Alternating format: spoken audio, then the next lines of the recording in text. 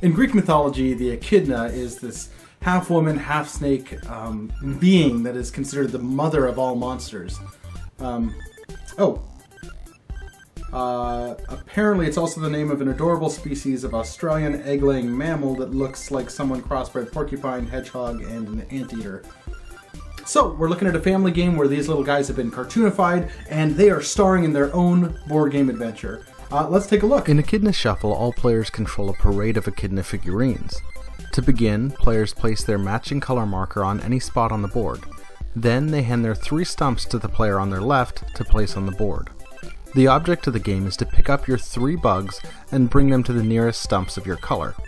Anytime an echidna figure is on a space with a color marker, they pick up the corresponding bug, if there are any left. On a player's turn, they roll a custom die that reads 2 to 7, and place their marker on the top of the board with the corresponding number that they rolled. They then have that many movement points for the turn. On their next turn, they simply slide their marker to the lower number and receive that many movements. They roll again on the turn after that. With their movement points, players attempt to pick up and deliver their set of bugs to their stumps. Each action point can be used to move any echidna on the board, so long as it follows the movement rules. When an echidna lands on the marker to pick up a bug, it never lets go of it until it reaches the correct stump. Players use action points to move the parade, shuffling them so as best to obtain their goal. Echidnas can never occupy the same space or jump over each other, and they must adhere to the directional rules of the board. When a bug is brought to the correct stump, both are removed from the board. When someone has collected all three bugs and all three stumps, they win the game. Echidna Shuffle is first and foremost adorable. Like, ridiculously so. My boss, who played this as well, currently has a picture that another coworker took of one of the pieces as her desktop background. In terms of weight, it's on the lighter end of the spectrum, for sure, making this far more a family style game than a weighty practice and strategy. Despite it being a family weight game, it can't just get a pass for some of its shortcomings. The dependence on another player's placement of stumps is going to be pivotal in creating a fair game. Someone could, purposefully or not, create a much less challenging game for a single player in comparison to everyone else. This comes from the variable setup in which the difficulty is essentially determined by each individual player. This could also be reversed in the latter part of the game, but not in a good way.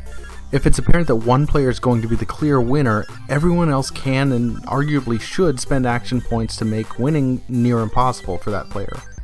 And that requires both foresight and vindictive determination to do, but it's apparently not a fringe case as there's a variant to prevent this from happening. That's another thing.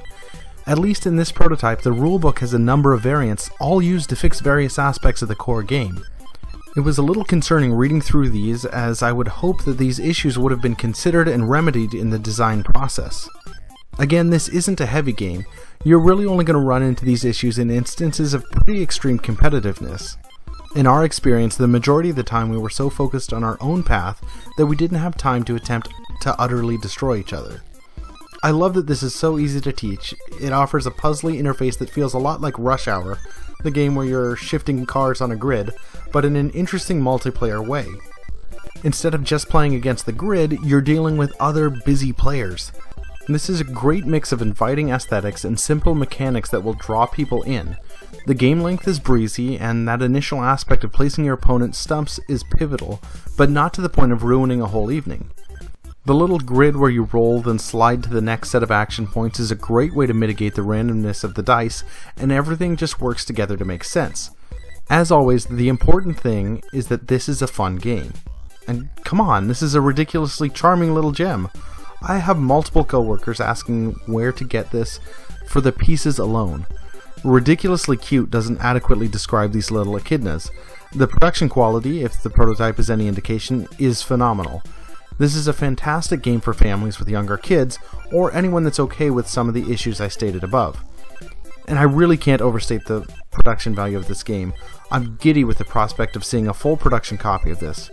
It's simple, fun, and the theme ties so well right into the charming look of the game. So, I'm participating in this Clash of Creator Star Realms tournament, Cheese. and there is Cheese. Cheese. in-game Star Realms named Bruce LaPluma. I really screwed up on the branding. That's that's my fault. Cheese. Cheese. Cheese. Bruce, I need you to not touch the camera, kid. Cheese. Cheese. Kiddo. Don't touch. Don't touch. Cheese. Cheese. Cheese. Cheese. Cheese. Ah. Ah, now go find Mama. Drums tournament in which Cheese. Cheese. Cheese. He's gonna have to keep going. Cheese.